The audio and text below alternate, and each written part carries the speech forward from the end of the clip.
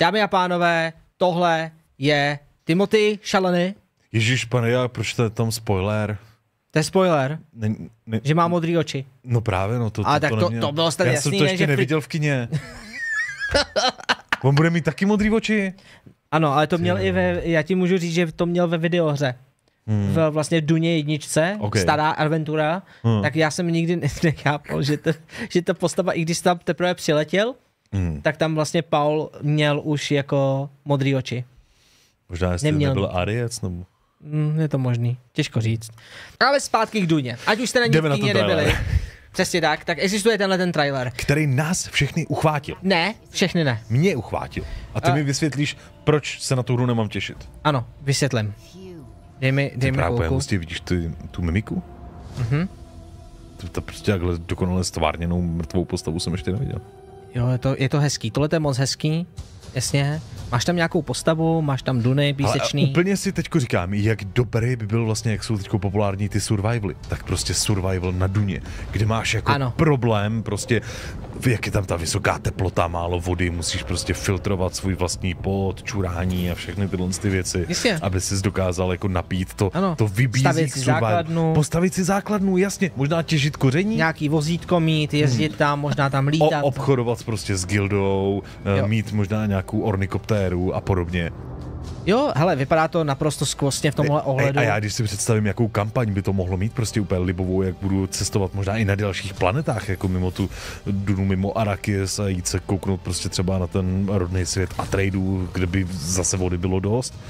Paráda. Ano, uh, na jednu stranu na, máš naprostou pravdu, hmm. na druhou stranu těch záběrů, uh, těch sekvencí, Mhm. hmm. kdy opravdu se děje něco jiného, než jenom to stavění na holý pus- pustině, Mhm. hmm. je fakt málo. Eh, Je to jenom pár náznaků, které budou pravděpodobně buď cutscenový, nebo budou skriptovaný. A hmm. důvod, proč to vím, je následující. Hmm. Uh, za moment se tam objeví Gelu. Jo? Mhm, dej tomu chvilku. Dej tomu chvilku, tohle je zatím stále cool, okay, to je nechápu, fakt hezký. nechápu ty lítající postavy, to, to, to, To úplně z neznám, ale dobře, tak jo. Tak jo ne? nebudu to rozporovat. Ne, nerozporuj, prostě to. Může mít prostě modrý oči a jetpack. Je, takže tohle byl celou dobu Paul. Nebo... Jo.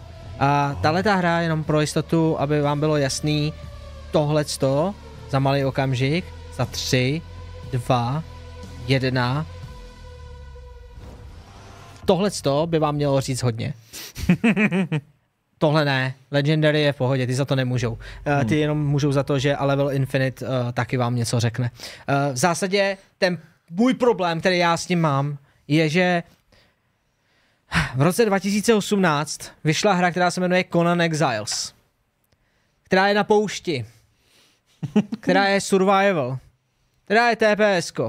Jediný, čím se liší, je, že eh, jak to říct, nemá tam letouny, ano. To mají zase jiný jejich hry, protože uh, Funcom nedělal jenom Conan Exiles, ale když si vezmeme, tak vlastně z historie The Secret World, velký MMOčko, který byl akční, Anarchy Online, který je až moc podezřele podobný, Anarchy Online je pode, uh, vlastně hodně podobný uh, Duně po systémové hmm. stránce a samozřejmě Age of Conan. Uh, ještě před Conan Exiles. Age of Conan, která se potom samozřejmě zrušila, jde jenom o to, že Funcom si vybudoval na poli survival MMOček open worldových velký jméno právě tím, jakou, jakou, jakou jaký template, jakou šablonu použili. A vlastně na tom není nic špatného, jenom chci říct, než já, já jsem negativní z toho důvodu, že tím, že jsem už prošel několika fankomáckýma hrama, tak hmm. já se na to právě moc netěším. Protože já Tam čekám já- spíš singleplayerovou nějakou příběhovku, která mimochodem je, myslím, ve vývoji od Quantic Dream, ne? To nebo by někdo, nebo někdo dělá prostě fakt jako regulární adventuru. Ale ne open world tohohle typu. Protože já mám prostě problém s tím, že jestli znáte Power World teďkon, nebo jste hráli Ark, to je vlastně to samý. Pořád, Raft, je to Hmm. de facto pořád to samý. Ty říkáš, je to strašně fajn koncept, mně se, mně se vlastně taky líbí ty záběry, ale já jsem prostě ten kritik toho, že na můj vkus je to Jako- až moc příliš podobný. Já si z hlavy moc nepamatuju, že ten Age of Conan se hrozně řešil a oni se doufali, že zvládnou, mám pocit, hra konkurovat i Vovku a podobně. A, a mám, Což se jim je daří, jako, já ale... mám pocit, že v nějakých ohledech, že ty hry byly dobrý, jenom si moc jako nepamatuju, že bych vlastně viděl kolem sebe to někoho hrát hrát a ani už přímě moc nevím proč. Jestli to byl právě jako nudný nějaký základní gameplay, nebo právě ty multiplayer co myslíš, elementy. jako? Uh, Age of Conan. A... Age of Conan se zrušil, ten je konec, ale Conan Exile se hraje. Stejně Okay. jako Ark. Hmm. To je prostě normální multiplayerovka Jo. a používá stejný blueprints eh, vlastně z Unrealu jako Ark. Hmm. Takže vlastně má hodně podobný menu, hodně podobný UI, hodně podobný stavění, to Jo. taky do toho gridu a budování, to jsme vy, ostatně viděli i teď na, těch- na těch gameplay záběrích. Hmm. Uh, záběrech, omlouvám se. Jinak Pajo Žrakov říká, že to je taková moje typická uh, předpověď, tak ano, je. Uh, omlouvám se ti za to, já umím být takový trošku v tomhle ohledu uh, proza... Uh, ne, to, to nejsem, prozaik nejsem. Vy víš, to Medium. Nebo... Ty jsi to napravil. Vizionář. Vizionář, Vizionář, přesně tak. mhm. Mystik, ano, já umím být takový mystik. Perfektní. Je to tak.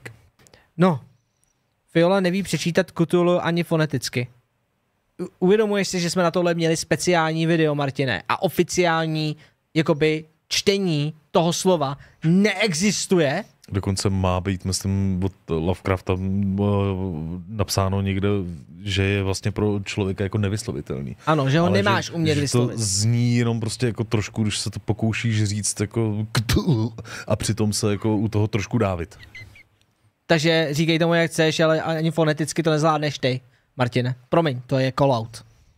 Je to tak. Zkus to. Kuši a myslím Linka předtím a Lister zmiňují, že mají rádi Kutululu. Správně, Cthulhu je nejlepší jako věc, když jako potřebuješ. Ale je dobrý, že to je i friendly prostě třeba pro děti, nikoho to neurazí a tak, to je fajn. Kutululu je přirozená evoluce.